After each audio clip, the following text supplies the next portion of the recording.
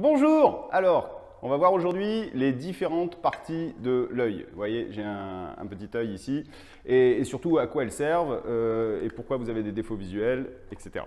Voilà. Je vais m'approcher un petit peu. Vous voyez, c'est un œil. Enfin, faux, hein. on est d'accord. Donc, euh, sur cet œil, vous avez ici, à l'extérieur, la cornée. Là où, quand on se met le doigt, ça fait mal.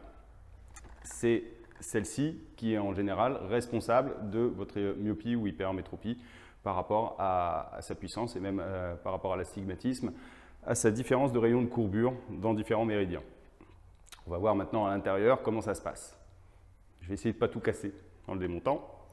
Hop. Ici, on va sortir l'œil. Vous avez donc à l'intérieur de cet œil. Hop là. Voilà l'œil ouvert.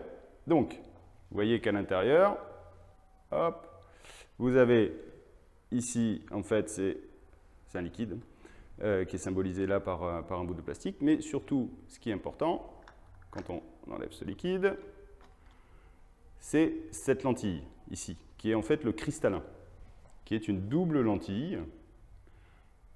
Hein, vous voyez, il y a deux faces. C'est ça qui s'opacifie quand on a une cataracte. Euh, c'est-à-dire que c'est aussi pour ça que euh, quand on vous opère de la cataracte, vous êtes obligé d'avoir un implant, puisque cette euh, lentille a une certaine puissance.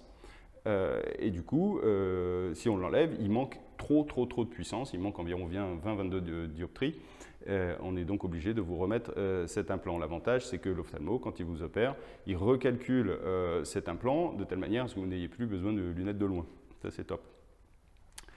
Et ensuite, dans le fond, vous avez la rétine c'est elle qui perçoit, euh, c'est l'écran, c'est l'écran de votre œil.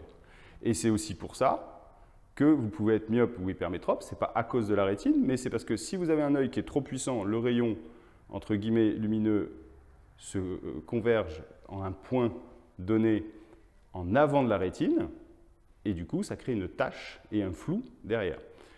Même chose chez les hypermétropes, à l'inverse, il se focaliserait virtuellement à l'arrière de la rétine, en un point à l'arrière de la rétine, et du coup, vous êtes obligé, et là vous pouvez, contrairement au myope, forcer pour rétablir une vision nette dans ce point-là, mais au prix d'un effort musculaire.